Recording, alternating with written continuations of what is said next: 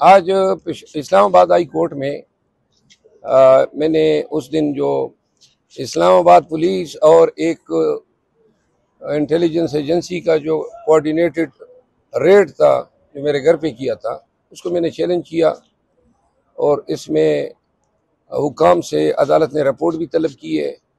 अदालत ने मेरे घर में किसी भी एजेंसी या पुलिस की तरफ़ से घुसने को रोक दिया है और इसके हवाले से हुक्म इम्तनाई जारी किया है। आ, इसके अलावा जो एहतजाज के हवाले से मुकदमा इस्लामाबाद पुलिस ने दर्ज किया उसमें कल मैंने अपनी कबल गिरफ्तारी जमानत करा ली है।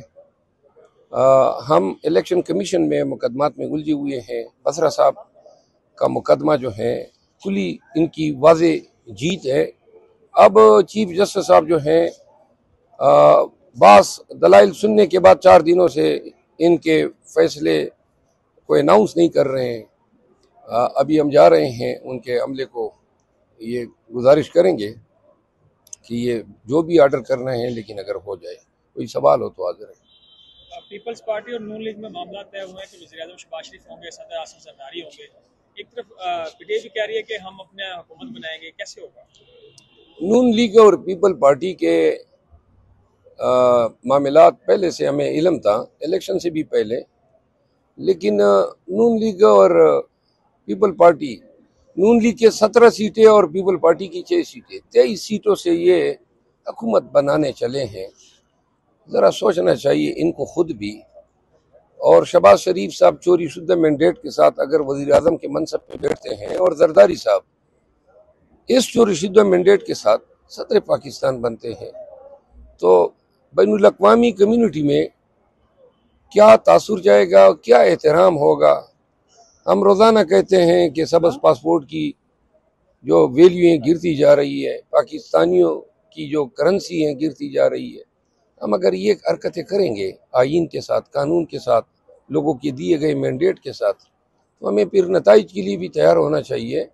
अगर ये इस काबिल हैं कि हुकूमत बना भी सकें और चला भी सकें तो इस चोरी शुद्ध मैंडेट के साथ अगर ये हुकूमत करते भी हैं ये जर्म है और ये कानून और बिलखसूस जो आइन है आ, उसकी आ, आर्टिकल छः के तहत क्योंकि इन्होंने दिन दहाड़े डाका डाला है। आर्टिकल दो सौ अट्ठाईस कहता है कि ट्रांसपेरेंट फ्री और फेयर इलेक्शन होंगे। और जो इन्होंने कसदन नहीं कराए तो लिहाजा एक बदनीयती पर मबनी इन्होंने आइन को वायलेट किया है। जी। सर जी बताइएगा कि जिस तरह आजकल होता है कि पता ही नहीं चलता कि किसी भी मुकदमे में उठा लिया जाता है तो आपने कोई कोर्ट में कोई दरखास्त वगैरह दायर करवाई है कि आपका नाम किसी एफ़ आई ए में हो या कोई और मुकदमे में हो?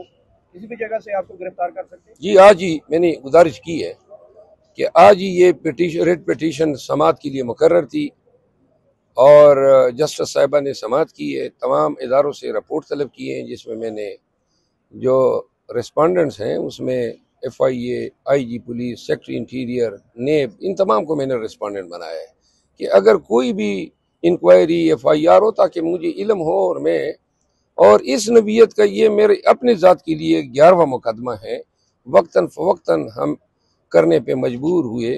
उनके पता ही नहीं चलता है कब इन्होंने दरमियान में कोई खुफिया मुकदमा दायर किया हो, इसको जवाब बना के गिरफ़्तार कर लें। हमें गिरफ्तारी से डर नहीं है। कि जब भी गिरफ़्तार करना चाहें, लेकिन हमें अगवा होने से डर है। अगवा हो के ये इनकार करेंगे कि कभी हमने इनको उठाया ही नहीं है। जिस तरह ये रात को डेढ़ बजे मेरे घर मठाई तो नहीं लाए थे। सारा दिन इधर फिरता हूँ, लेकिन चूँकि दिन में लोग होते हैं मेरे साथ, कैमरे हैं, मोबाइल हैं तो इसलिए उन्होंने फिर कल जब ऑनरेबल मोहसिन अख्तर कियानी साहब की अदालत में मैंने ये कहा तो अदालत ने भी कहा कि घरों में अगर रात को डांटे बाँध के या नकाब लगा के आप घुसेंगे तो इसके बाद इसका रिएक्शन रद्दमल भी आ सकता है। मैं वकील हूँ, मुझे पता है, कानून मुझे हक देता है कि मेरे घर में घुसने वाले किसी शख्स को रात अंधेरे में, चाहे वो कोई क्यों ना हो, उसको रोकने के लिए मैं उस पर फायर मारूं। तो लिहाजा अब मैंने अपनी सिक्योरिटी के खातिर खा बंदोबस्त किए वारंट देकर कोई आएगा तो आएगा। और अगर बगैर वारंट के कोई आएगा तो बेशक वो हमें मारेगा लेकिन हम कोई आराम से उनको घर में अंदर घुसने नहीं देंगे। शेर अफजल मरवत साहब ये बताएँ कि इमरान खान ने आम माफ़ी का ऐलान किया फतेह मक्का के दर्ज पे। तो ये बताएँ कि नौ मई रिजीम चेंज के बाद जिन अफसरान ने तहरीक इंसाफ के खिलाफ मुकदमात बनाए बेशुमार खवतान अभी भी जेलों में तो उनके हवाले से आपका क्या लाए अमल होगा तहरीक इंसाफ तहरीक इंसाफ जो है और बैसीत पाकिस्तानी और बैसीत एक मुसलमान के हम किसी इंतकामी सियासत पे यकीनी नहीं रखते हैं। अगर पहले भी कोई इंतकामी सियासत हुई है तो मैं बैसीत वकील उसकी मैंने हमेशा मजम्मत की है। रूल ऑफ़ लॉ यही है कि अपने दौरे इकतदार में अपने बदतरीन सियासी हरीफ के साथ आप कोई ज़्यादा कर ही ना सके। खान साहब बार बार इस चीज़ का इजहार कर चुके हैं। हुकाम ने, जिन हुकाम ने पीटीआई के लोगों के साथ ज्यादतियाँ की, अपने इख्तियार का नाजायज इस्तेमाल किया कत नज़र इसके कि इन्होंने किसके खिलाफ किया। असल अमर ये है कि इन्होंने ऐसा करके खुद निज़ाम की कारकर्दगी पे सवालिया निशान उठाया। ये एक दफ़ा